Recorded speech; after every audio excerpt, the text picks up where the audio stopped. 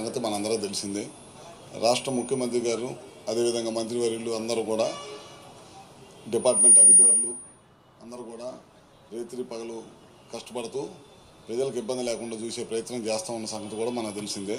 అదేవిధంగా మా విద్యుత్ ఉద్యోగులైతే నలుమూల నుంచి ఇక్కడికి వచ్చేసి రాష్ట్రం నలుమూల నుంచి వచ్చి గడిచిన పది రోజుల నుంచి ఇక్కడ పనిచేయటమే కాకుండా నిన్నటితోటి దాదాపు మూడున్నర నుంచి నాలుగు లక్షల పైన విద్యుత్ కనెక్షన్లన్నీ కూడా మళ్ళీ రివైవ్ చేసి అందరూ హౌస్ హోల్డర్స్కి అందరూ కూడా విద్యుత్ అందించడమే కాకుండా మా వంతు సహాయ సహకారాలుగా పనిచేయడమే కాకుండా మేము ఎంతో కొంత ప్రజలకి అండగా ఉండాలనే ఉద్దేశంతో వాళ్ళ దాదాపు పది కోట్ల అరవై ఒక్క లక్షల పద్దెనిమిది వేల ఆరు వందల తొంభై నాలుగు రూపాయలు ఇవాళ విద్యుత్ ఎంప్లాయీస్ అందరూ కూడా ఒకరోజు శాలరీని ముఖ్యమంత్రి నారా చంద్రబాబు నాయుడు గారికి అందించడం చాలా మంచి పరిణామం.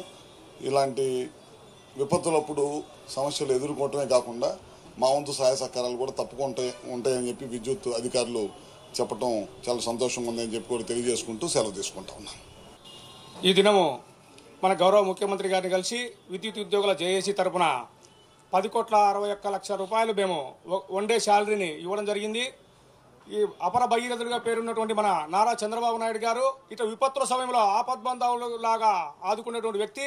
ఆనాడు హుదూదు తుఫాను కానీ తిత్లీ తుఫాను కానీ జరిగినప్పుడు ఈ ఆయన చేసినటువంటి సేవలు ప్రపంచ స్థాయిలో గుర్తింపు తెచ్చినటువంటి వ్యక్తిగా మన ముఖ్యమంత్రి గారు ఉన్నారు.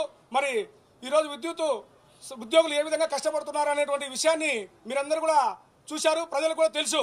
ఈరోజు విజయవాడ అంతా కూడా అతలాకుతలం అయిపోతే నారా చంద్రబాబు నాయుడు గారు రెయ్యలకుండా పగలకుండా నిద్ర ఆహారాలు అన్నీ మానేసి ప్రజాసేవకి అంకితమై పనిచేసేటువంటి ముఖ్యమంత్రి గారికి మనము కూడా మేము కూడా తోడుగా ఉండాలనే ఉద్దేశంతో విద్యుత్ ఉద్యోగులు ఉన్నటువంటి కింద నుంచి పైదాకా అందరు అధికారులు కార్మికులు అందరూ కలిసి వన్ డే శాలరీ మేము డొనేట్ చేయడానికి ఈరోజు ఇక్కడికి రావడం జరిగింది.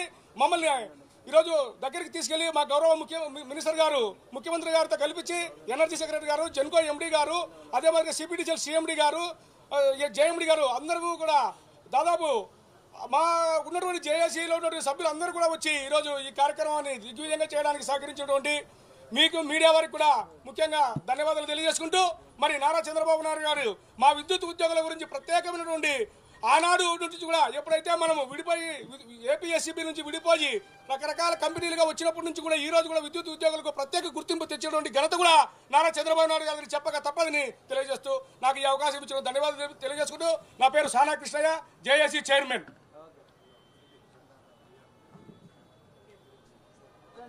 పక్కకి వచ్చి పట్టుకోండి.